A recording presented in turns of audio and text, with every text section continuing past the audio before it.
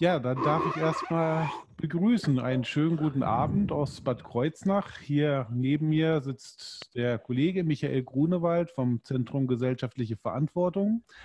Michael ist heute ja der Gast. Es geht ja um Thema Digitalisierung, wie Digitalisierung unsere Gesellschaft auch verändert.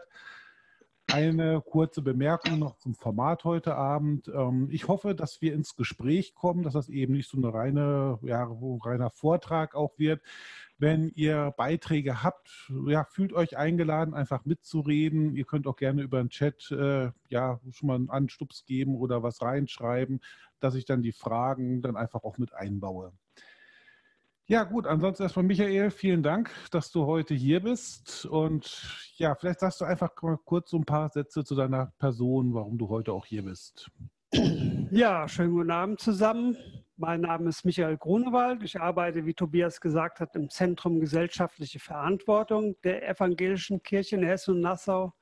Ich bin von Hause aus Soziologe, das heißt Gesellschaftswissenschaftler und mein Auftrag besteht darin, für die evangelische Kirche zu schauen, wie die Digitalisierung sich in gesellschaftlich, im gesellschaftlichen Zusammenleben, in dem, was in der Gesellschaft passiert, auswirkt. Ja, das sind erstmal ein paar ganz grundlegende Sachen. Das heißt, die Kirchenleitung zu beraten oder kirchenleitende Gremien zu beraten, die dann immer mal fragen, wo soll sich Kirche einmischen, wo nicht, wo haben wir irgendwie was zu sagen, wo betrifft es uns wo müssen wir uns als Organisation selber entwickeln, weil wir ja Teil der Gesellschaft, auch natürlich Teil der Digitalisierung sind. Und da ist mein Auftrag zu schauen, wie, ich sag mal, Formate geschaffen werden können, die eben diesen gesellschaftlichen Veränderungsprozess auch ein bisschen sichtbar und deutlich hm. machen können. Ja. Also ich glaube, wir werden ähm, vielleicht auch eine ganze Menge Fragen haben, auch so zum Thema Digitalisierung, Gesellschaft. Was ist das überhaupt, Digitalisierung? Äh, für mich auch immer so ganz spannend, ähm, wo befinden wir uns jetzt gerade, aber wo gehen wir auch hin? Wo werden wir vielleicht in ein paar Jahren auch sein? Aber äh, fangen wir doch erstmal so ganz grundlegend an. Ähm, Digitalisierung, das ist ja so, so ein richtiges Buzzword. Also das, das hört und sieht man ja überall in jedem Kontext, aber Wovon reden wir, wenn wir über Digitalisierung reden? Ja, das ist ein bisschen schwierig, weil es gibt zwar Definitionen, was Digitalisierung ist, aber erstmal ist es so, dass Digitalisierung als technischer Prozess hm. verstanden wird. Das heißt wirklich Digitalisierung, analoge Gegenstände, die man anfassen kann, die man haben kann. Wir denken an eine Schallplatte, wir denken an Bücher, ja, die sozusagen haptisch begreifbar sind, überführt werden in Daten, in Nullen und Einsen und letztendlich damit auch gar nicht mehr begreifbar sind, was es ein Stück weit schwierig macht, das überhaupt zu verstehen, weil es für uns gar nicht mehr sichtbar ist. Wir sehen eigentlich nur noch Oberflächen. Und diese Digitalisierung, ich mache das immer ganz gern an verschiedenen Beispielen, aus dem schulischen Kontext kennen, kennen ganz viele noch Overhead-Projektoren, also Projektoren, die irgendeinen Text auf einer Folie hatten, die dann an die Wand geworfen ist. Da gab es den Text, der war auf der Folie, den konnte man mitnehmen, den konnte man kopieren. Ja, heute ist das in Präsentationsprogrammen drin, dass man das einträgt. Man kann die Präsentationen an alle verschicken, man kann sie mit nach Hause nehmen. Es gibt verlustfreie Qualitäts- äh, gleich bei gleicher Qualität Kopien endlos, die man auch sofort irgendwo hinschicken kann. Und das ist schon ein wesentlicher Unterschied zu vorher. Eine ganz einfache Möglichkeit, Dinge, die digitalisiert sind, zu kopieren. Hm. Ja. Also das heißt, äh, wenn wir von Digitalisierung reden, das ist jetzt eigentlich erstmal nur ein, ja, eine Veränderung des Zustandes. Also vorher hatte ich etwas Haptisches und jetzt wird etwas in das Format Einsen und Nullen übertragen. Genau, das ist ein Teil der Digitalisierung. Mhm. Digitalisierung beschreibt, beschreibt aber einen Prozess. Ja, das, was wir haben, ist sozusagen die Überführung in Daten. Das ist das mhm. eine. Teil der Digitalisierung. Das andere ist aber, durch diese Überführung in Daten passiert gesellschaftlich auch etwas. Mhm. Wenn wir heute überlegen, wie wir miteinander kommunizieren, ja, das hat sich ja sehr stark gewandelt ich sag mal, ich bin aufgewachsen Ja, ich bin 59 geboren. 1965, wir hatten zu Hause kein Telefon. Ja, das gab also keine Möglichkeit der direkten Kommunikation. Wenn ich meiner Mutter sagen wollte, dass ich heute später nach Hause komme, musste ich bei Frau Petzert, das war unsere Nachbarin, anrufen, um, damit sie runtergeht zu meiner Mutter und Bescheid sagt, dass ich eine Stunde später komme. Ja, das ist heute undenkbar. Mhm. Ja, heute ist es direkte Kommunikation, die ist persistent, also ist dauernd möglich. Es gibt eigentlich keine Pause mehr. Es gibt eine direkte Erreichbarkeit. Ja, und das ist aber nicht nur ein technischer Prozess, sondern der macht auch etwas mit uns. Mhm. Zum Beispiel die Erwartung, dass wenn man jemandem etwas schreibt, auch gleich eine Rückmeldung bekommt. Weil er muss doch sofort irgendwie das sehen. Ja. ja dafür gibt es dann in den Apps oder in den Programmen, die man benutzt, gibt es dann kleine Signale, die einem sagen, der andere hat es gesehen, der andere, ja, er hat es doch gesehen, warum schreibt er nicht zurück? Was ist da? Ja, und gerade in den unterschiedlichen Altersstufen hat das ganz, ganz erhebliche Auswirkungen. In der Kindheit und Jugend, wo es ganz viel um Freundschaften und Beziehungen geht, um Beziehungsarbeit und gucken, wo bin ich, wo bin ich beliebt, wo, ja, da ist es immens wichtig. Ich sage mir jetzt mal, wenn ich irgendwo jemandem schreibe und der antwortet erst zwei Stunden später oder einen Tag später, macht mir das auch nichts. Hm. Auf der anderen Seite, äh, ich sage mal, das beste Beispiel, was dieser Prozess ja mit sich bringt, äh, das sehen wir jetzt auch in dieser Veranstaltung, dass wir jetzt den David äh, hier haben, der jetzt gerade aus einem fahrenden Bus jetzt hier auch mit teilnehmen kann über die Datenverbindung aus seinem Smartphone und auch, auch mitdiskutieren kann. Also hallo David nochmal. Hallo, hallo. Funktioniert sogar im Tunnel hier, erstaunlicherweise. Aber die, die Beleuchtung ist jetzt schon ein bisschen schlecht, deshalb sieht man mich kaum. Ja, hm. wobei in der Digitalisierung Tunnel ja auch nochmal eine andere Bedeutung hat. Ja, also eine Verbindung zu Tunneln heißt ja sozusagen, sie ein wenig unsichtbar zu machen. Du bist hm. ja jetzt auch unsichtbar, aber du bist ja nicht ganz weg. Ja, das heißt, in dem Augenblick, wo du aber digital eingeloggt bist in die Software Zoom, gibt es wiederum Möglichkeiten zu gucken, wo bist du, ja, wo hältst du dich gerade auf. Du kommst an verschiedenen Mobilfunkstationen vorbei. Alle tracken, wo du dich gerade aufhältst, sonst könnte dein Gerät nicht funktionieren. Ja, und dann lassen sich Profile bilden. Bewegungsprofile, die man dann auch beispielsweise mit anderen Aktivitäten wiederum verknüpfen kann. Und dann kann man relativ gut nachvollziehen, zumindest bei Personen, die in der digitalen Öffentlichkeit aktiv sind, wo sie waren, wer sie sind, was sie tun und, hm. und, und. Ja. Genau. Ich glaube, da kommen wir nachher auch noch mal so ein bisschen genauer äh, drauf, wenn es um so Profile geht. Also wir hatten ja noch so das Thema Datenschutz auch mit in den Abend genommen. Ähm, was ich jetzt mal so ganz interessant finde, du hast vorhin schon mal so angesprochen, ähm, dass dieser Prozess der Digitalisierung und diese Veränderungen, die werden ja auch von unterschiedlichen Generationen unterschiedlich auch wahrgenommen. Wenn ich jetzt einfach mal schaue, äh, ich zeige euch jetzt hier gerade mal etwas und viel, ich wette von euch, viele von euch, die aus Deutschland kommen, haben das auch schon mal gesehen. Das ist äh, der Volkszählungsbogen von 1987, der Personenbogen, äh, der Zensus, die Volkszählung. Da wurden Haushalte aufgefordert, Fragen zu beantworten nach Familienstand, Geschlecht, rechtliche Zugehörigkeit und so weiter. Und ähm, ich war damals erst elf Jahre alt. Ich kann mich nur im Rahmen oder ganz, ganz, ganz schlecht daran erinnern, habe ich aber die Tage mit meinen Eltern auch nochmal drüber unterhalten. Und da waren wirklich hunderttausende Leute auf der Straße und haben gegen diese Datenerhebung de äh, demonstriert. Und ich meine, das ist jetzt gerade mal 30 Jahre her. Wenn ich sehe, für was für Daten wir heute auf die Straße gehen würde, sieht das ja ganz anders aus. Ja. Da ist ja auch, dann stellt sich mir dann natürlich auch die Frage, wenn wir in den 30 Jahren jetzt so eine starke Veränderung haben, wie sieht das denn nochmal in 20 Jahren vielleicht aus? Äh, regen wir uns jetzt vielleicht sogar auch ja, äh, unnötig über Facebook und Google auf, äh, die jetzt unsere Daten haben wollen? Ist das in 20 Jahren nicht ganz selbstverständlich? Ja. ja. ganz sicher. Also 1987 kann ich mich noch sehr gut erinnern, weil es erstens das Jahr ist, in dem mein Sohn geboren wurde.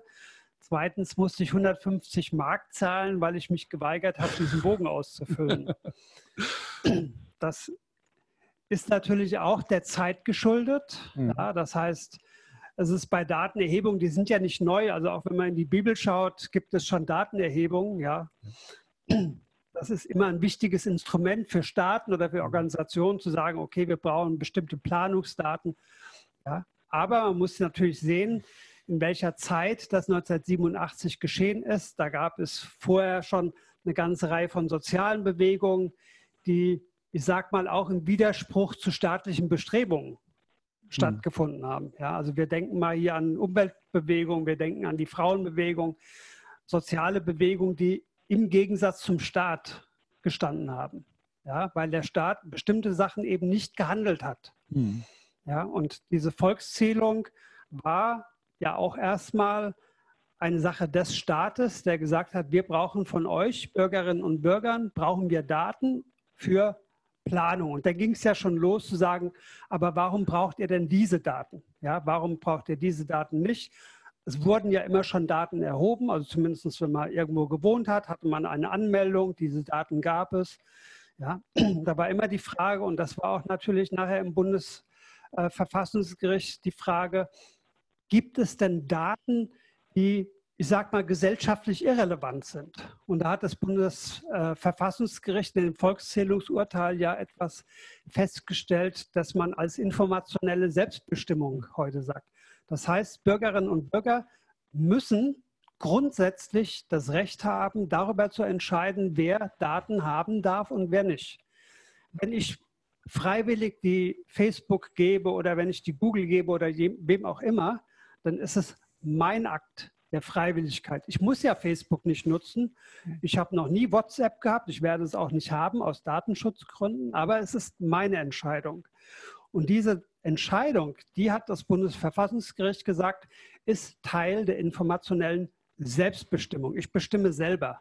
Das Problem heute ist ein ganz anderes. Mhm. Das Problem heute ist eigentlich, dass wir gar nicht mehr selbst bestimmen können, wer welche Daten hat und wer mit, mit welchen Daten was macht, weil es hinter unserem Rücken passiert. Wir wissen gar nicht mehr, wer alles Daten sammelt, was mit den Daten gemacht werden, wofür die Daten gesammelt werden, wie sie verarbeitet werden, das wissen wir heute gar nicht mehr.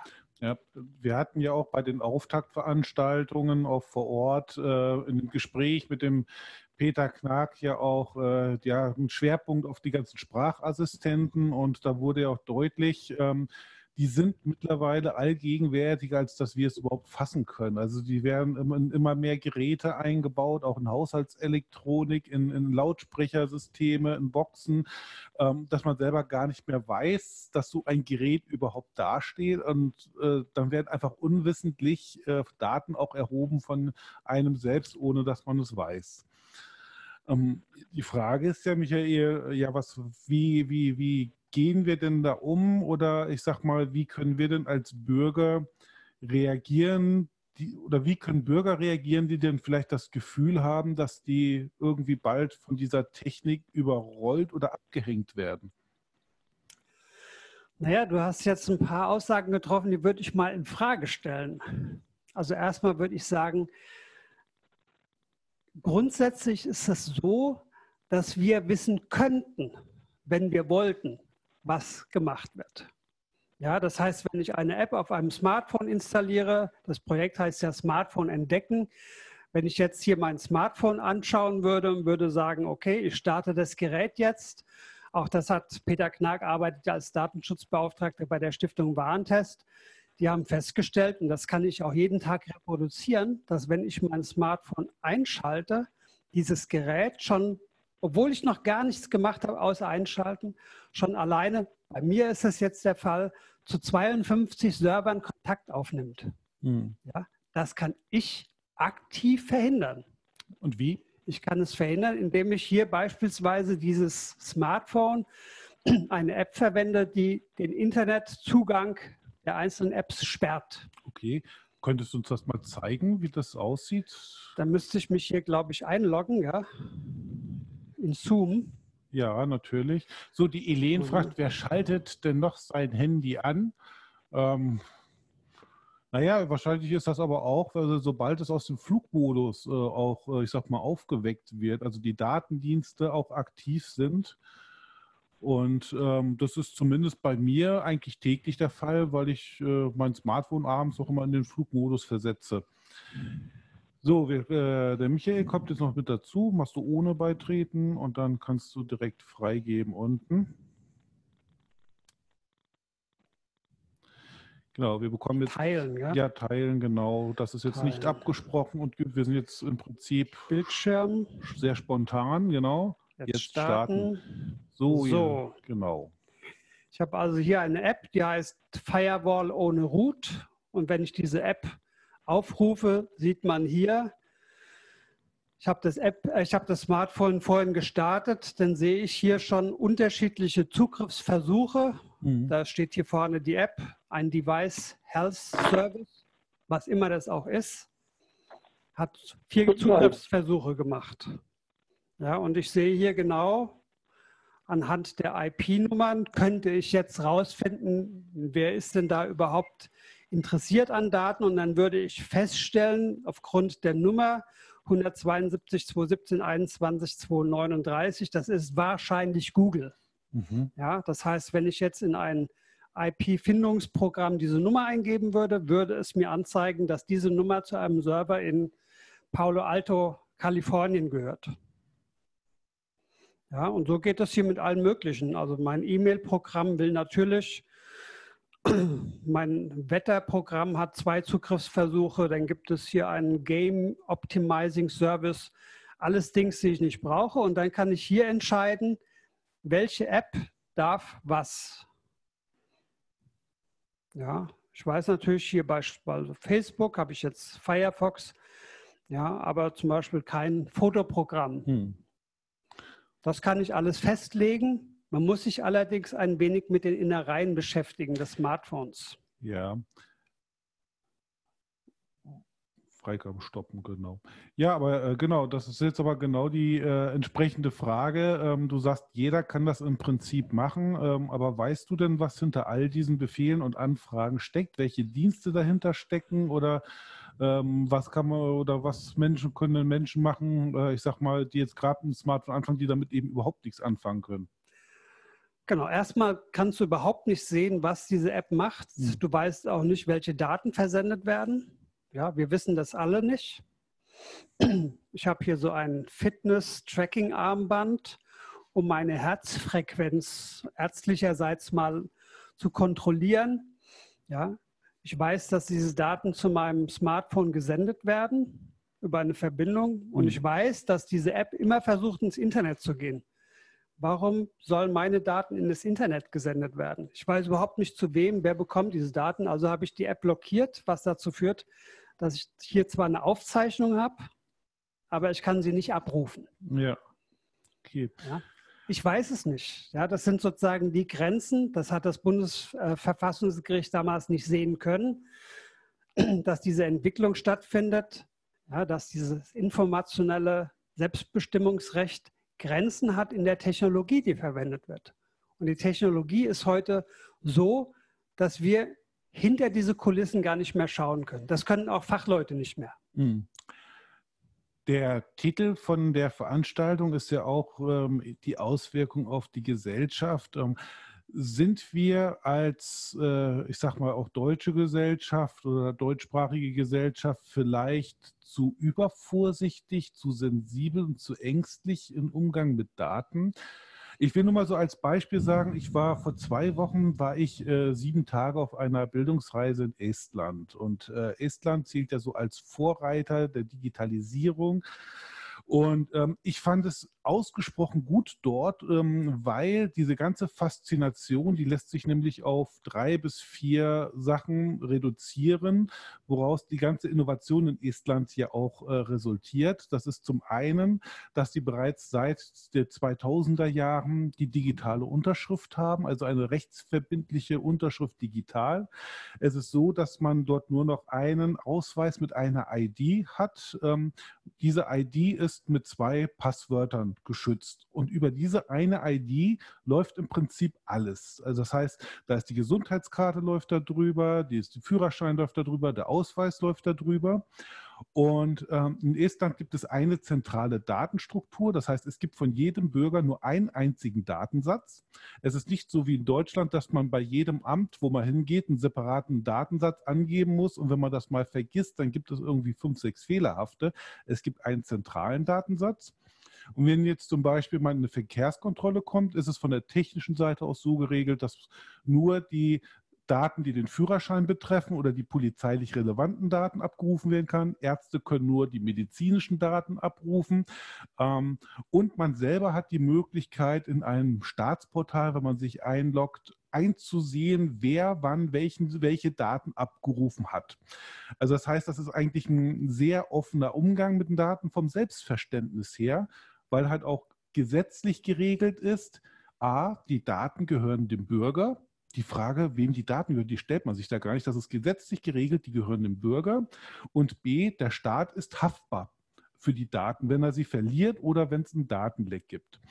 Ähm, wir haben natürlich viel geschaut, was in Estland möglich ist, wie es in Deutschland läuft. Und wir haben festgestellt, es gibt einen gravierenden Unterschied in der Mentalität, ähm, weil die erste typische deutsche Frage ist dann auch, wie sicher sind die Daten denn digital? Sowas kann ja gehackt werden. Ja? Ähm, von daher die Frage, müssen wir uns als Gesellschaft vielleicht auch irgendwie äh, verändern, um oder auch offener werden, um, ich sag mal, mehr von der Digitalisierung auch profitieren zu können? Naja, also ich würde erst mal sagen, als Mensch mit einem gewissen historischen Verständnis, ist ja zu sagen, dass Datenerhebung und das, was der Staat damit macht, nicht ganz neutral ist. Mhm. Ja, das heißt, wir haben eine Zeit gehabt des Nationalsozialismus. Man stelle sich vor, dass äh, welche Religionszugehörigkeit, welche Meinung jemand vertritt, heute Facebook mit relativ großer Wahrscheinlichkeit schon genau feststellen kann.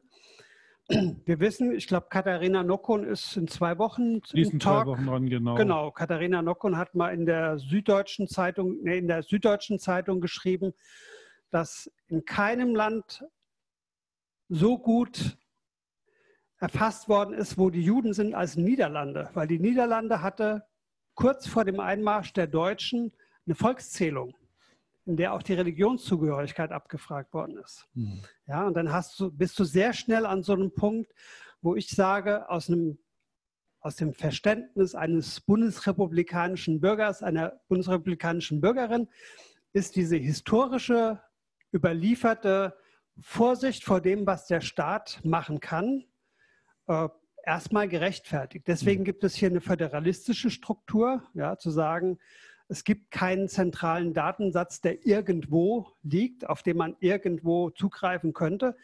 Auch in Estland äh, können sich ja Dinge verändern. Mhm. Ja, also wenn Gesetze geregelt haben, dass die Zugriff haben dürfen und die nicht, heißt es ja nicht, dass es in zehn Jahren noch so sein muss. Also Gesetze sind auch nichts anderes als in Recht gegossene Vereinbarungen, die auch wiederum geändert werden können. Und ich glaube, dass dieser ich sag mal, besondere bundesrepublikanische, die bundesrepublikanische Haltung über Daten und Datenschutz schon auch ein Stück weit ein äh, Alleinstellungsmerkmal ist. Wir kennen es in anderen Ländern so nicht. Also in Amerika. Ja, ja. ich meine, wir, wir, wir haben ja auch ausgesprochen gute Erfahrungen mit Diktaturen und Autokratensystemen. Also man muss ja nicht nur das Dritte Reich nehmen, also auch mit der DDR-Zeit hatten wir auch einen sehr ausgeprägten Datensammelapparat. Äh, von daher ja.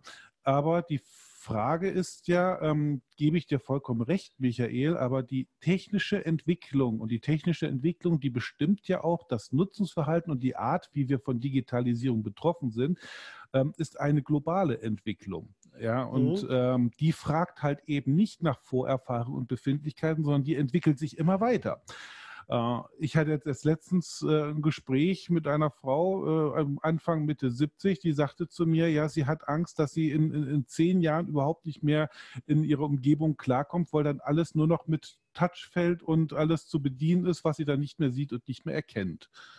Ja, das heißt, irgendwo, irgendwie müssen wir uns ja weiter bewegen.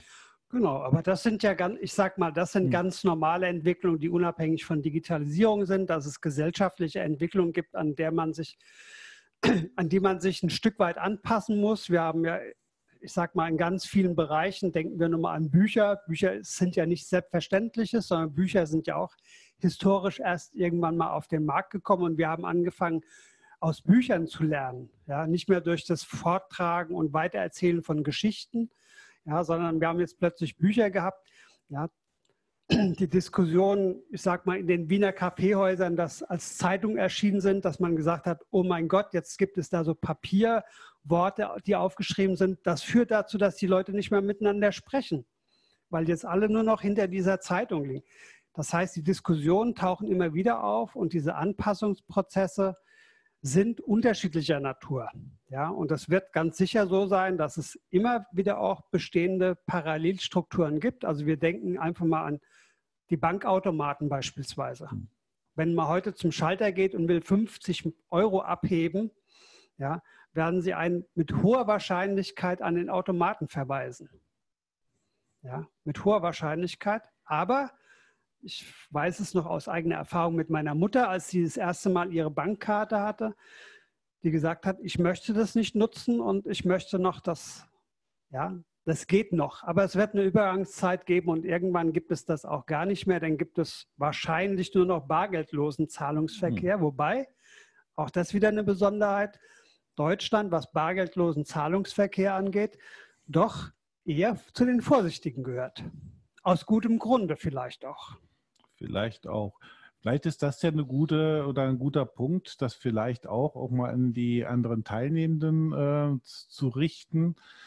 Äh, Wolfgang, der schreibt gerade, äh, wir sind aber von gläsernen Bürgern noch weit entfernt. Siehe Gesundheitskarte, jedes Bundesland hat eigene IT-Systeme und bekommen sie nie verbunden. Ja, genau.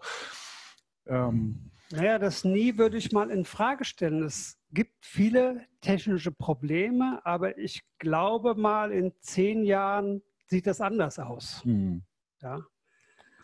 Das, das sind Anpassungsprobleme, die hat man bei allen Technologien gehabt. Wenn ich, mir, wenn ich mal zurückdenke, also ich habe es ja nicht persönlich über, äh, erlebt, Dampfmaschine bis hin zur Lokomotive, das hat 100 Jahre gedauert als Prozess.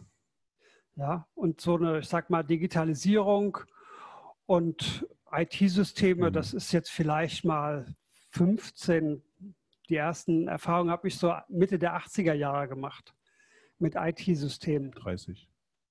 2019. Ja, aber dass man jetzt ja. sozusagen eine eigene IT hat und ja, so. Ja, das, sicher, klar, sicher, man, ich habe damals noch für ein großes Unternehmen gearbeitet, die hatten sowas. Mhm. Und auch das Geld dafür. Ja, Wolfgang schreibt genau, die Probleme gibt es schon seit über 15 Jahren, genau.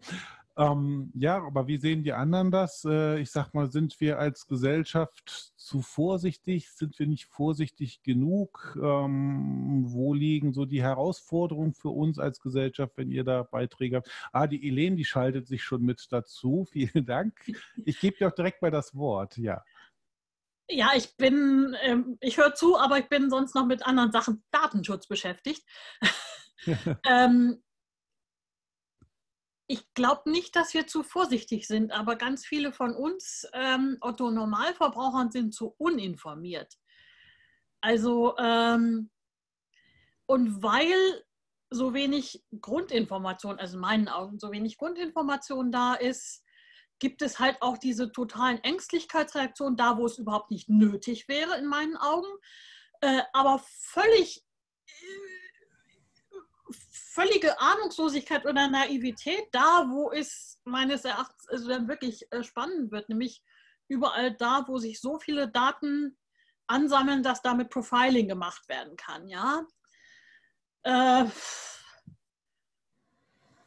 also ich glaube, da, da geht eine, eine, Entwicklung sehr stark auseinander, wo ich das Gefühl habe, ähm, Wichtige mhm. Grundfunktionen werden nicht beigebracht, weil die Generation, die es den Kindern beibringen möchte, sich selbst schon nicht mehr damit auskennt. Die hat das einfach verpennt, auf gut Deutsch.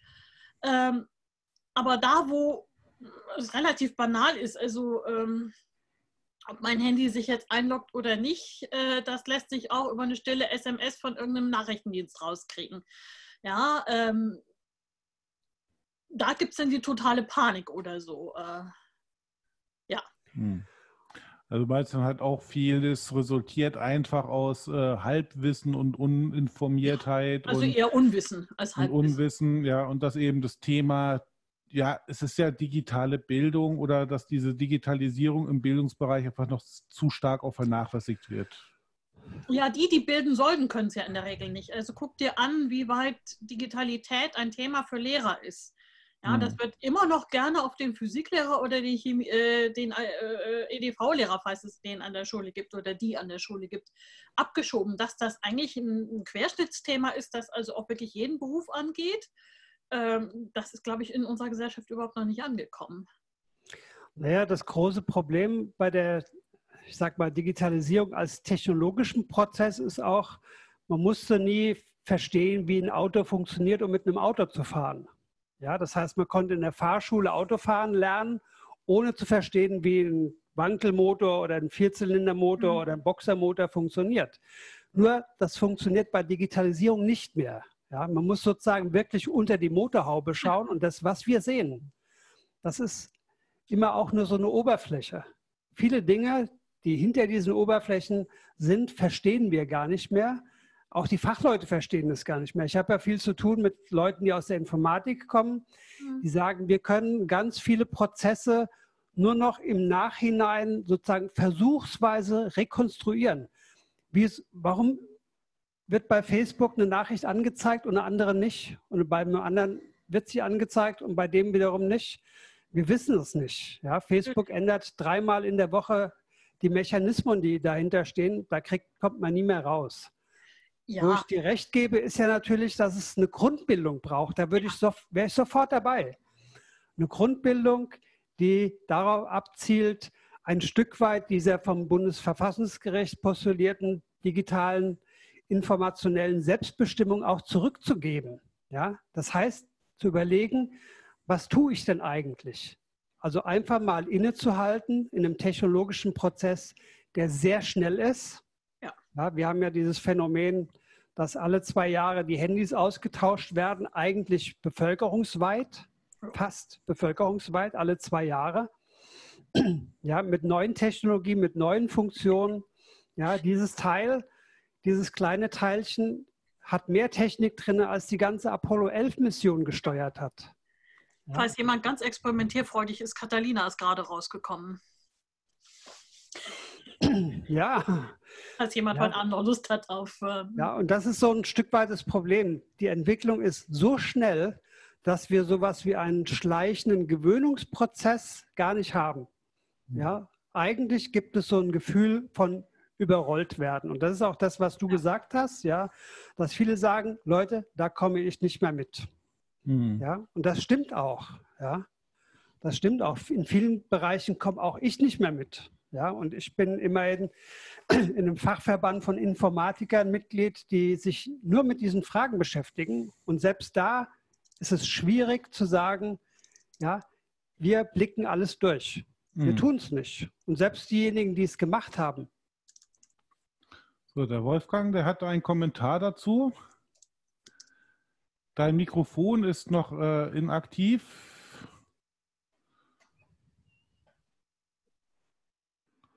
Ich schalte mal von hier dein Audio ein. So, jetzt müsstest du. ah. Jetzt kannst du reden. Ja, ähm, sorry. Ähm, aber ist der Gesetzgeber nicht auch überfordert? Der technologische Wandel geht doch viel, viel schneller, als jemals irgendwo ein Gesetz beschlossen werden kann oder geändert werden kann.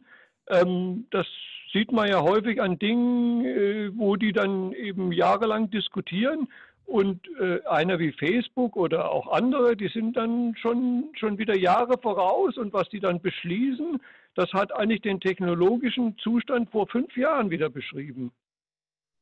Ja, absolut, so ist das. Genau hm. so ist es. Letztendlich gibt es eine Überforderung und das Recht oder das, was sozusagen auf der politischen Ebene diskutiert wird, ist immer nachrangig. Das folgt immer einer Entwicklung und versucht, ja, gelingt in der Regel nicht, aber es versucht immer wieder einzufangen und das Schlimmste irgendwie zu verhindern. Also wir denken sowas an die Datenschutzgrundverordnung, mhm. ja, zu sagen, Datenschutzgrundverordnung ist eigentlich ein Versuch dieser informationellen Selbstbestimmung, ein Stück weit wieder Gewicht zu geben. Und das, was jetzt im Augenblick in der Mache ist, eigentlich auch schon längst da sein sollte, die E-Privacy-Verordnung der EU, ja, die kommt eigentlich nicht in die Pötte, weil sich die Menschen nicht einigen können, die politisch verantwortlich sind. Und die technologische Entwicklung geht weiter. Dahingehend ist im Chat jetzt auch gerade eine Frage von P. Wolk. Ähm, ohne mich zu fragen, werden meine Daten verkauft? Warum kann ich nicht entscheiden, wer was zu welchem Preis von mir erhalten soll? Naja, erstmal würde ich sagen, es gibt ja diese Möglichkeit zu sagen, welche Daten bin ich bereit rauszugeben. Mhm. Ja, also was wir ja machen müssen, das sind so die ganz normalen Daten, Finanzamt, Einwohnermeldeamt und sowas. Wir müssen kein Smartphone benutzen, theoretisch. Meine Schwester tut es. Meine Schwester hat kein Smartphone. Meine Schwester hat auch keine E-Mail. Und man kann trotzdem überleben. Aber man ist aus bestimmten Prozessen ausgeschlossen. Hm. Also die Frage der Teilhabe und die Frage des Miteinanders ist an der Stelle oder führt an der Stelle dazu, dass man in der Regel mehr oder weniger gezwungen ist, sich zu beteiligen. Ja? Und dann ist es die Frage, woher weiß ich denn, welche Daten überhaupt, ich sag mal, vermarktet werden? Das hm. Einfachste und das Billigste und wo ich sagen würde, das Unproblematischste, zumindest für die erwachsene Welt, ist, wenn meine Daten, die gesammelt werden, genutzt werden, um mir personalisierte Werbung zuzuspielen.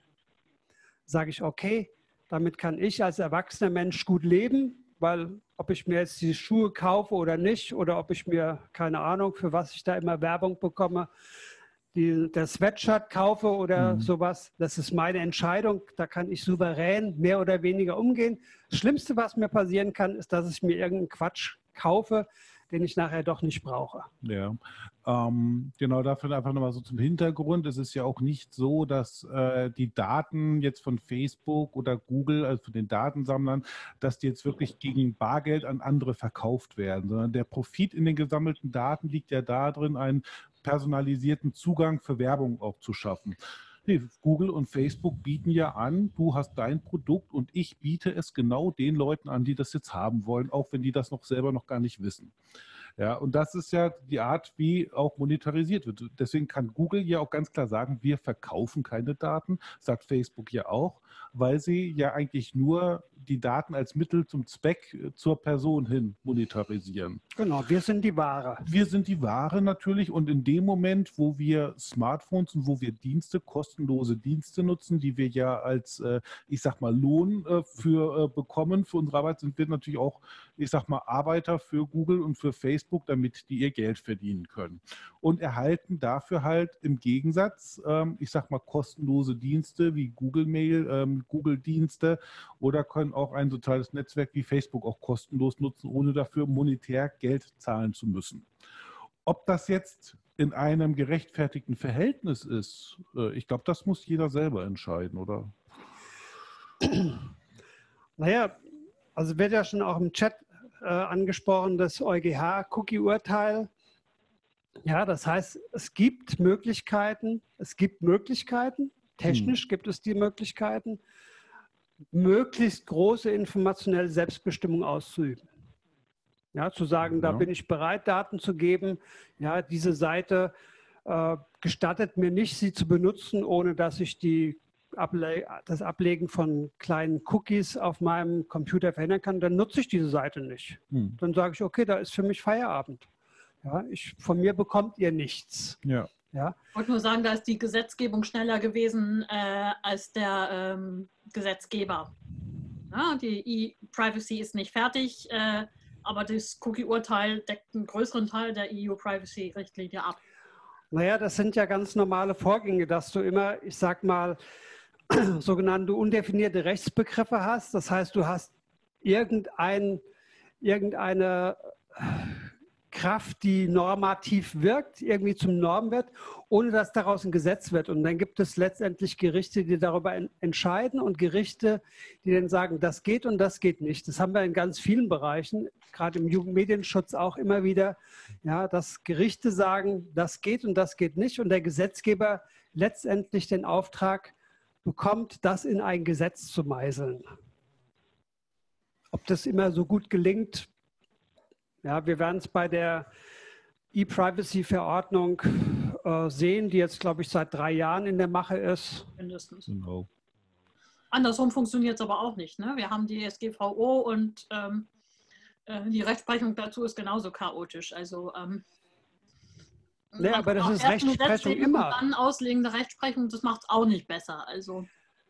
Ja, aber das ist ja ein Kennzeichen von Rechtsprechung, dass Rechtsprechung versucht, etwas auszuhandeln in, in Urteilen, die sozusagen ein, irgendwie ein Gewicht herstellen. Es gibt von Amtsgericht Fulda gibt es ein Urteil äh, über die Nutzung von WhatsApp.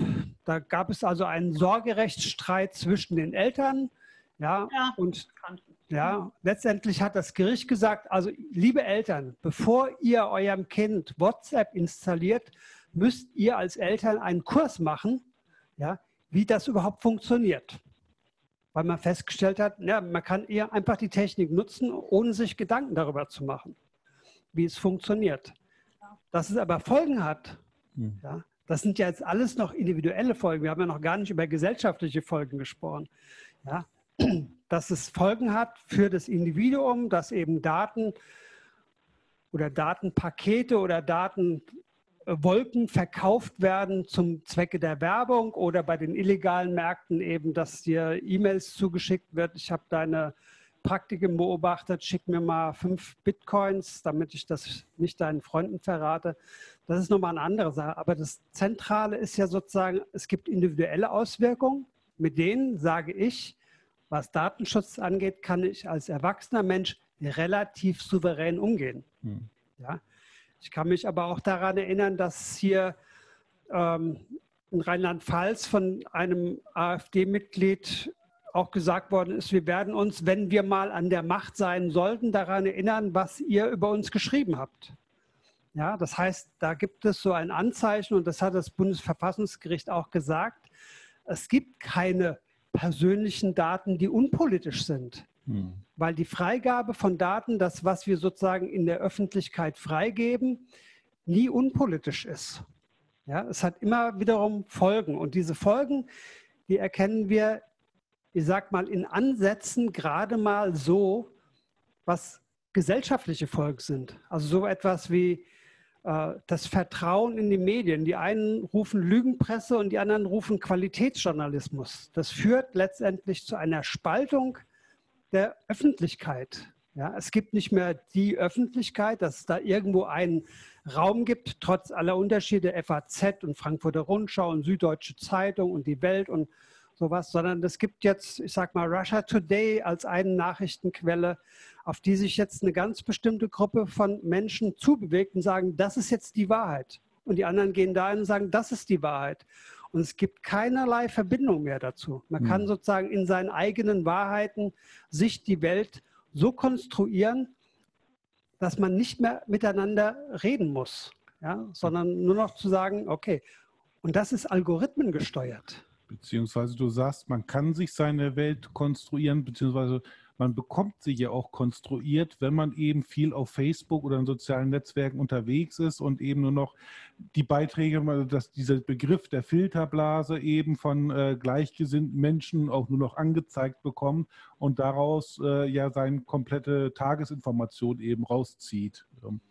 Aber auf der anderen Seite äh, finde ich, ähm, es klingt, klingt jetzt sehr, äh, ja, natürlich, natürlich ist es polarisierend, ähm, aber was ich halt sehr herausstechend finde, ist die Möglichkeit des sogenannten User-Generated Content, dass wir eben nicht mehr auf Verlage und auf Zeitschriften etc. angewiesen sind, sondern eben auch in einer digitalen Öffentlichkeit Inhalte sehen können, ähm, die von einzelnen Menschen auch äh, ins Netz gestellt und publiziert wurden. Natürlich, nicht jeder, äh, nicht bei jedem äh, steckt auch die Wahrheit dahinter und ich sage mal integere Ziele. Da macht es natürlich auch die Menge und die Masse aus, aber überlegen wir einfach mal, was in Ländern wie China, in der Türkei oder Stichwort arabischer Frühling, was passieren würde, wenn es eben keine Möglichkeit geben würde, außerhalb von staatlichen oder offiziellen Kanälen zu kommunizieren. Auch da müssen wir wieder sagen, man muss unterschiedliche Länder betrachten, genau. also so etwas wie das Darknet, ich sage jetzt mal als Teil des Internets. Mhm. In bestimmten Ländern wäre ohne diese Möglichkeit der anonymen Kommunikation gar keine Möglichkeit, sich auszutauschen, weil jegliche Meinungsbildung, äh, ich sage mal, die entgegen von staatlicher Meinung stattfindet, unterdrückt wird. Ja, hier haben wir eine andere Situation. Hier haben wir eine Situation, wo wir eine Meinungsvielfalt haben und haben sollen und wo das auch in Ordnung ist, dass es ist. Aber wir haben, und da ist ein Stück weit, also würde ich ein Stück weit auch wieder in Konfrontation mit dir gehen. Sehr gerne. Zu sagen, äh, das, was Öffentlichkeit oder die Möglichkeit von Menschen sozusagen sich jetzt öffentlich zu äußern, ist eine Pseudo-Öffentlichkeit. Also es gibt so, äh, das hat der Jan Hendrik Schmidt vom Hans-Bredow-Institut, äh, Medienwissenschaftler, relativ gut ausgearbeitet. Es gibt so etwas wie ein, der Schein, dass man scheinbar in die Öffentlichkeit wirken kann, aber durch die Algorithmen, die gesteuert werden, ja, bei Facebook, bei anderen Dingen, dass diese Algorithmen dafür sorgen, dass bestimmte Sachen auch gar nicht mehr nach oben kommen. Ja, das heißt, dass du zwar eine Öffn ich habe das ja gemacht, ich habe einen Blog geführt, mal testweise ein Jahr. Ich habe angefangen mit ungefähr 120 Seitenzugriffen pro Woche, ja, im Januar und bin am Schluss gelandet bei ungefähr 1200, also hundertfach. Hundertfach? Zehnfach. 120, genau. Ich habe gerade gedacht, ein bisschen übertrieben. Millionenfach. ja. Und bin dann sozusagen, ja, ich habe eine viel größere Öffentlichkeit ja. erreicht, aber gleichzeitig musste ich feststellen, ich habe ja über den Blog beworben, über Facebook und Twitter. Das waren die einzigen Kanäle, mhm. die ich benutzt habe, dass manche Leute, die den Blog gelesen haben, diese gar nicht mehr angezeigt bekommen haben, wenn was Neues erschienen ist. Mhm. Ja, und das hat was zu tun mit dem Algorithmus. Ja, dass der Algorithmus immer noch sagt, wer wann was sehen kann und was nicht. Natürlich kann ich meinen Blog, natürlich kann ich Öffentlichkeit viel besser wirken. Also ich bin ja sozusagen auch, was mal die Tageszeitung angeht, also Taz als eine Zeitung, die im, ich sage jetzt mal, äh, Umweltbereich, aus dem ich komme, äh, auch eine ganz große Rolle gespielt hat. Soziale Bewegungen, die gesagt hatten, wir brauchen neben dieser Öffentlichkeit der ganz normalen, brauchen wir auch eine Publikation, die andere Themen mal aus einer anderen Sicht beleuchtet oder die gleichen Themen mhm. aus einer anderen Sicht beleuchtet. Ja, das geht heute viel einfacher zu publizieren. Nur wer sieht das? Ja, wer sieht das, was du veröffentlichst auf deinem Blog und so weiter? Es ist möglich, es ist möglich, aber es bedeutet viel Arbeit und es bedeutet viel Arbeit vor allen Dingen in der Kenntnis der Algorithmen. Ein Freund von mir, der ist auf YouTube aktiv, der hat ungefähr eine Million User, Follower, die ihm sozusagen auf seinem Kanal folgen. Der sagt, ich bin eigentlich gezwungen durch den Algorithmus, jede Woche zwei Videos online zu stellen. Ja, mache ich das eine Woche nicht, ja, bin ich draußen aus der Liste und ich merke das sofort. Hm. Das heißt, wenn ich in Urlaub fahre, muss ich, obwohl ich das eigentlich gar nicht will, muss ich vorproduzieren. Ich muss den Algorithmus füttern, damit die Leute, die mir folgen und die meine Informationen, das ist jetzt ein Informationskanal, die meine Informationen sehen wollen, die, die bediene ich eigentlich gar nicht, ja, sondern ich bediene den Algorithmus, damit ich überhaupt von denen noch wahrgenommen werden kann. Ja. Also das heißt, ähm, wenn wir vor vielen Jahren, äh, ich sag mal noch, äh, öffentlich-rechtliches Fernsehen, Radio und die Tageszeitung als einzige Informationsquelle haben, haben wir jetzt wesentlich mehr Quellen. Dafür sind diese aber algorithmusgesteuert und im Endeffekt, ähm, ja, wie finde ich denn dort irgendwie einen guten Weg, äh, ich sag mal, um mich fundiert und auch objektiv informieren zu können? Ja, eigentlich das Klassische, was man schon in der Schule lernt. Man muss gucken, welche Quelle mit welchem Interesse mhm. was veröffentlicht. Das ist die Grundlage. Also so etwas wie ein, ich nenne es mal in Anführungsstrichen, gesunden Menschenverstand. Zu sagen, okay, ja, wir wissen, die Zeitung, die ist eher da drauf, die ist eher da drauf. Das ist ja auch nichts Neues, was mit der Digitalisierung kam. Ja, also es gab schon immer sag mal, die FAZ-Leser und die Frankfurter Rundschau-Leser. Beides Zeitungen, die in Frankfurt erschienen sind, aber beide hatten eine unterschiedliche Gewichtung. Ja, die einen waren eher konservativ wirtschaftsorientiert, die anderen waren eher sozialliberal, an den sozialen mhm. Bewegungen ungefähr ganz grob geschnitzt dran. Ja. Also es gab schon diese unterschiedlichen Öffentlichkeiten, aber es gab auch noch gemeinsa den gemeinsamen Diskurs. Ja, und der gemeinsame Diskurs war vor allen Dingen in der Politik, weil da diese unterschiedlichen Bereiche zusammenkamen. Jetzt haben wir eine Situation, ja, die Wahlerfolge der AfD beispielsweise, als eine Bewegung, die zu den etablierten, auch zu den etablierten Medien eine kritische Haltung haben, führen dazu, dass sie ihre eigenen Medienwelten aufbauen und diese Medienwelten sind relativ abgeschlossen. Also ich habe eine Bekannte von mir, eine Freundin von mir, die ist eher in diesem Spektrum. Das ist meine einzige Verbindung in diesem Bereich. Und die postet jeden Tag auf Facebook und sie postet jeden Tag auf Twitter Nachrichten, von denen ich sagen würde, oh mein mhm. Gott, ja, aber ich sehe sie noch. Ich sehe sie noch und habe noch eine gewisse Vorstellung davon, was in anderen Bereichen passiert. Und da gibt es jetzt tatsächlich ganz viele Kanäle, die ausschließlich nur noch die eigenen Leute bedienen. Und da geht es nicht mehr um gesellschaftlichen Diskurs, da geht es nicht mehr darum, um herauszufinden, welche Position hat man, sondern es gibt eine Aufteilung. Und diese Aufteilung haben wir in ganz vielen Ländern. Das haben wir in Amerika, was die Öffentlichkeit angeht. Repräsentiert natürlich auch im politischen Bereich. Das haben wir in den Niederlanden, das haben wir in Italien, das haben wir in Frankreich, das haben wir in Polen. Ja, das haben wir möglicherweise auch in China. Aber in China ist eine relativ große Zufriedenheit mit der Regierung zumindest nach außen hin sichtbar. Ja, diese Aufspaltung in zwei unterschiedliche Blöcke, ich nenne es jetzt mal wirklich hm. Blöcke mhm. innerhalb der Gesellschaft, das ist eine Tendenz, die wir hier feststellen. Ich mache am, am 6. November eine Veranstaltung über diese Studie Medienvertrauen. Ja, da wird seit zehn Jahren wird geschaut, wie vertrauen eigentlich Menschen äh, den Medien. Und da gibt es eine für mich erschreckende, wirklich erschreckende Entwicklung, die sagt, es gibt eine ganz große Masse in der Bevölkerung. Ich rede jetzt von Jahr 2000. Es gibt eine große Masse in der Bevölkerung, die genau das sagt, von dem ich sage, das ist Qualität. Nämlich zu sagen, welches, welche Quelle hat welche Interesse. ja. Und nur ganz, ganz wenig sind sozusagen in den Randbereichen, die sagen, Lügenpresse auf der einen Seite und die anderen, ja, die haben immer, öffentlich-rechtlich haben immer Recht.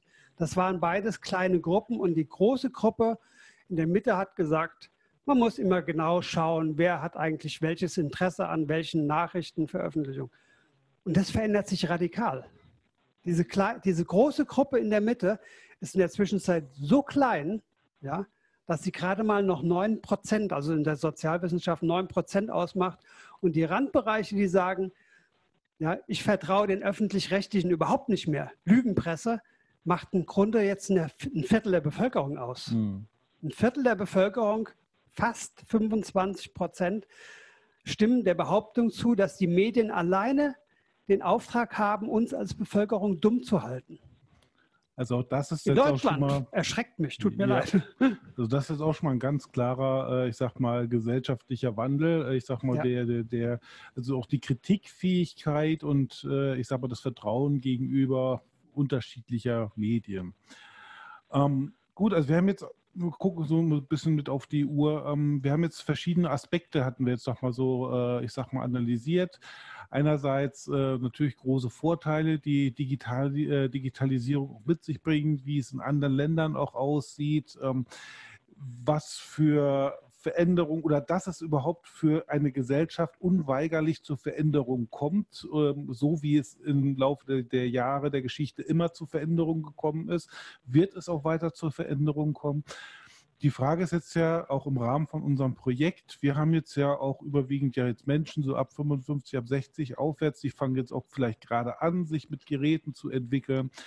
Was hast du denn für, ich sag mal, hilfreiche Tipps, ähm, damit man von diesem ja, Wandel, der uns auch noch bevorsteht, nicht komplett erschlagen wird oder dass wir eventuell sogar noch mitgestalten können? Ja, es gibt natürlich Strategien gegen das Datensammeln. Mhm. Also wenn das große Problem ist, dass andere ohne unser Wissen oder auch vielleicht mit unserem Halbwissen Daten sammeln, gibt es auf der anderen Seite so etwas, das nennt sich digitale Selbstverteidigung, also heißt tatsächlich so. ähm, dass man sagt, okay, ich beschäftige mich damit. Das ist aber das wie mit dem Auto. Ich muss unter die Haube schauen und unter die Haube schauen heißt, man muss ein Stück weit die technischen Grundeinstellungen an den Endgeräten, also den Geräten, die man benutzt, mhm. auch verstehen.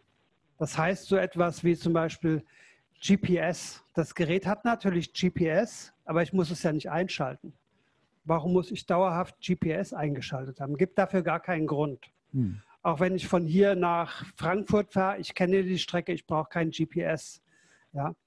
Will ich aber zum Beispiel sagen, okay, ich schaue mir mal an, äh, wie ist der Straßenverkehr auf der Strecke von, ich bin jetzt gerade von, von Chemnitz nach äh, Gießen gefahren.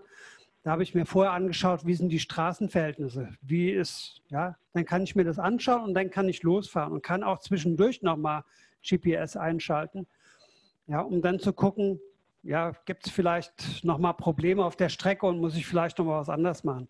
Das heißt, Dienste wirklich nur einzuschalten, wenn sie benötigt werden. Hm. Mein liebstes Wobei, Beispiel. Das heißt ja jetzt gerade, was du gerade beschreibst, ist ja genau das, profitieren davon, dass die anderen es nicht ausmachen. Ne? Weil Google kann dir diese Stauvoraussagen ja nur liefern, weil es genug Handys gibt, äh, die sozusagen äh, ihren Standpunkt verraten und auch wie schnell sie von A nach B kommen, also wie viele Minuten sie brauchen, um 100 Meter auf der Autobahn vorauszukommen. Also das finde ich jetzt ein gefährliches Argument. Ich mache es aus, aber ich profitiere davon, dass die anderen so dumm sind und es nicht ausmachen. Also das finde ich eine schwierige Einstellung. Ja, ich finde die Einstellung nicht schwierig, weil wenn so mehr Menschen machen, gibt es halt ungenauere Vorhersagen. Aber das ist ja dann mein Problem. Aber auf der anderen Seite zu sagen, wir müssen alle das GPS aktivieren, damit alle möglichst was davon haben, dann würde ich sagen, dann würde ich eher so ein Start-up wie, äh, wie heißt das? Waze. Warze. Waze ja auch zu Google gehört, ne? Ja, aber würde ich eher als, würde ich eher unterstützen als mhm. Google Maps beispielsweise. Ja, weil dann nochmal andere Dinge möglich sind, äh, Mitfahrgelegenheiten organisieren und so weiter genau. und so fort. Ja, da würde ich sagen, wenn ich diese Argumentation folge, dann würde ich das machen, aber ich würde es nicht über Google Maps machen, ja. beispielsweise. Und ich denke, man hat ja immer noch die Entscheidung, möchte ich das machen oder nicht? Also möchte ich aktiv, äh, ich sag mal, zum, zur Verkehrsanalyse beitragen? Äh, ich glaube, wichtig ist, dass wir für uns selbst diese Entscheidung haben und dass uns die Entscheidung nicht durch die Technik abgenommen wird. Genau, es ist meine Entscheidung. Genau. Das ist meine Entscheidung. Und wenn damit die Welt für die anderen schlechter wird, weil ich mein Smartphone nicht benutze oder GPS nicht benutze, dann ist es mein Problem nicht, sondern erstmal das Problem der anderen, genauso wie es mein Problem ist, wenn ich es nicht benutze, weil ich natürlich dann auch dazu beitrage, dass die Vorhersagen ungenauer sind. Also finde ich jetzt persönlich hm. keine, äh, keine negative Haltung zu sagen, ich kann entscheiden, ich kann entscheiden, informationelle Selbstbestimmung. Ich kann entscheiden, wann ich GPS einschalte und wann ich es nicht einschalte. Oder wenn ich Internet einschalte oder nicht einschalte. Ja, auch die Frage von Berechtigungen bei Apps, auch was ganz Wichtiges. Ja, dass Apps eine ganze Reihe von Freigaben haben wollen.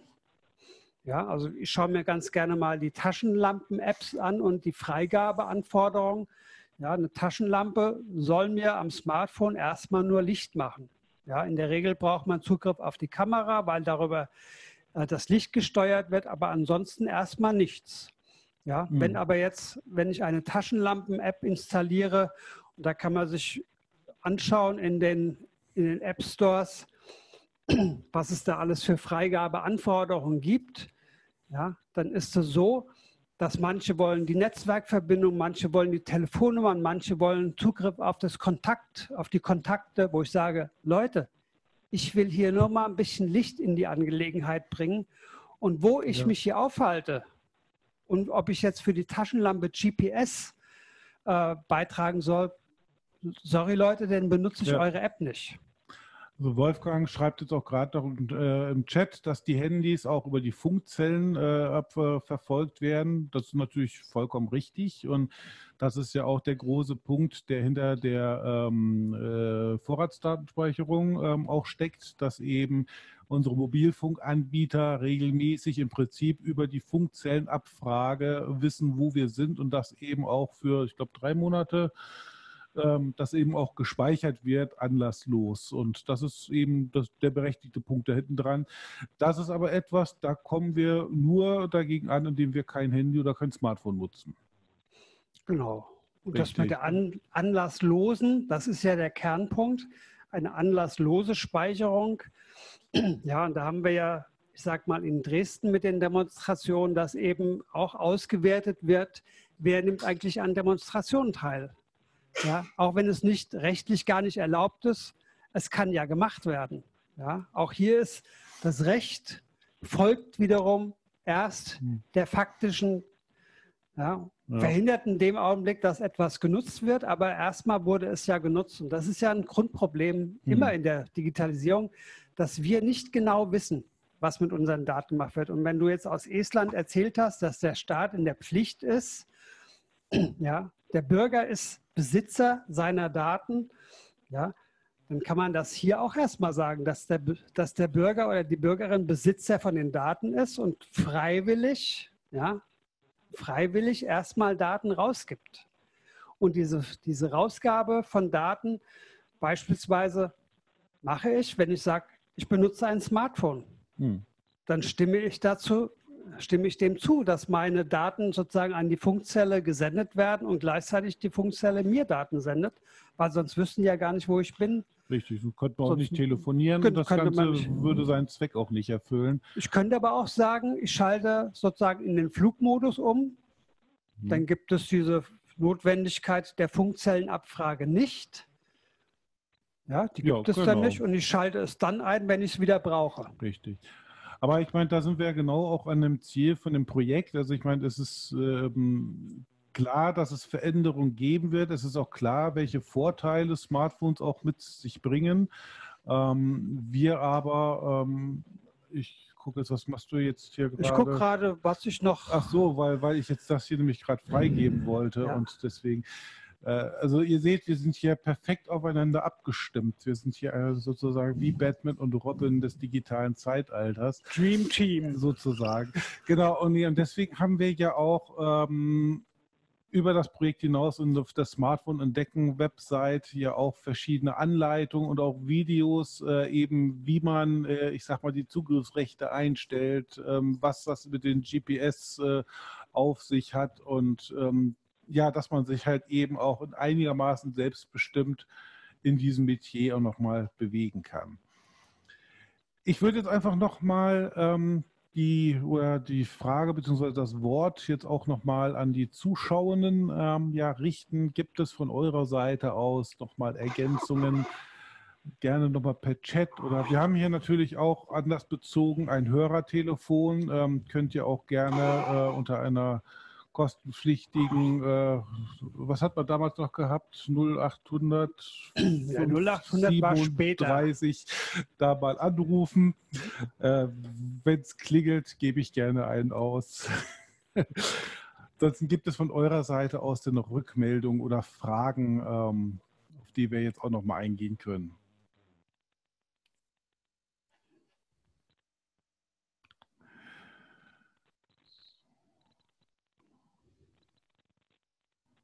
So, doch mal geschrieben. Das sieht jetzt erstmal nicht so aus. Der Chat bleibt ruhig. Alle schütteln den Kopf. Prima. Michael, gibt es abschließend von dir noch ein Satz, ein Statement, einen Hinweis oder einen Tipp, den du jetzt noch mal an die Zuschauenden noch weitergeben kannst? Ähm, damit wir eben nicht so überrollt von der gesellschaftlichen Veränderung werden? Also erstens würde ich sagen, ein Stück weit Gelassenheit. Mhm. Die Welt wird sich weiterdrehen, auch mit diesen ganzen Daten, die abgeliefert werden oder nicht. Ich sage ja, wenn es das größte Übel ist, dass ich Werbung zugespielt bekomme, dann okay, damit kann ich ganz gut leben. Anders sehe ich das bei Kindern und Jugendlichen, mhm. Die einer Werbeindustrie ausgesetzt werden, ja. die, aber das ist Erziehungssache. Ja. Da sind viele Eltern auch in der Frage einfach überfordert. Ich berate ja auch Kindertagesstätten in so Fragen äh, von Mediennutzung. Da gibt es letztendlich auch eine, eine äh, relativ große Überforderung.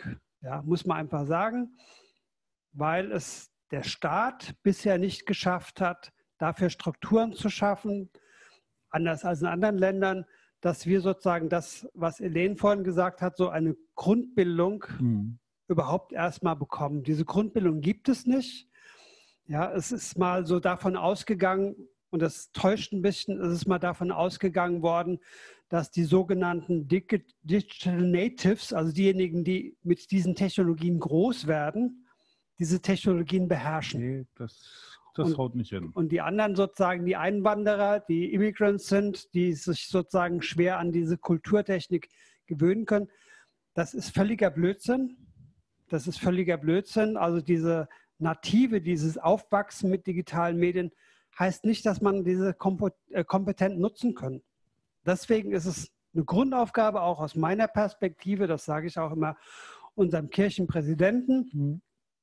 wenn wir reden, ja, dass auch eine Grundaufgabe von Kirche ist, ja, wenn wir gesellschaftliche Verantwortung wahrnehmen wollen, aus meiner Sicht auch müssen und sollen, ja, dass wir da auch einsteigen mit in unseren Strukturen. Wir haben über, 10, über 1000 Kirchengemeinden in der EKN. Ja, warum können nicht, ich sag mal, 10 Prozent von Kirchengemeinden Angebote machen, mit Feedback einholen. Die EKN hat mal ein Medienbildungskonzept im Jahr 2001 in Auftrag gegeben, an dem ich noch mitarbeiten durfte damals. Ja, die genau das in den Blick genommen haben, gesagt haben, was müssen wir als Kirche tun? Und wir haben damals gesagt, wir haben hier ein Konzept entwickelt, wie Medienbildung in Kirche stattfinden kann. Und die Synode hatte damals leider gesagt, das ist ja schön und gut, aber es ist zu teuer. Wir wollten drei Stellen. Hm. Bildung kostet halt Geld. Es kostet Geld und ja gut, das andere ist halt, dass man sagen muss, man muss sich halt jetzt selber drum kümmern. Genau. Und das ist ja, ich sag mal, aus Sicht der Reformation auch nichts Neues. genau, nur dass wir uns jetzt hoffentlich damit keine 500 Jahre jetzt Zeit lassen. Äh, genau, aber ich denke, zumindest auch über das Projekt Smartwood entdecken, sind wir auch auf einem sehr guten Weg, äh, auch vor Ort uns mit der Thematik auseinanderzusetzen. Ja, in diesem Sinne, Michael, an dich herzlichen Dank, dass du heute hier warst ähm, und auch für das Gespräch. Ich fand das sehr, sehr interessant. Ähm, wir die, werden das ja fortführen im nächsten Jahr. Genau, wir werden es fortführen. Es wird im äh, nächsten Jahr so etwas wie einen äh, Live-Podcast geben mit uns beiden, dass wir einmal im Monat zu bestimmten digitalen Themen auch hier zusammenkommen und ähm, einfach mal schauen. Weil für uns geht es ja auch darum, wir müssen oder wollen neue Formate ausprobieren, einfach mal austesten und gucken, wie diese ankommen. Ähm, und Bildung und Digitalisierung, das sind so große Themen. Ähm, ich glaube, da haben wir noch ganz viel auszuprobieren. Und es macht Spaß. Auf jeden Fall, genau. Auch in dem Sinne hoffe ich, dass euch der Spaß auch noch erhalten bleibt und ja, wünsche euch zu dieser späten Stunde dann noch einen schönen Abend, eine restliche eine Woche. Schöne, schöne gute Nacht. Vielen Dank. Vielen Dank. Schlaf gut. Genau. Und träumt schön. Macht gut. später. Tschüss.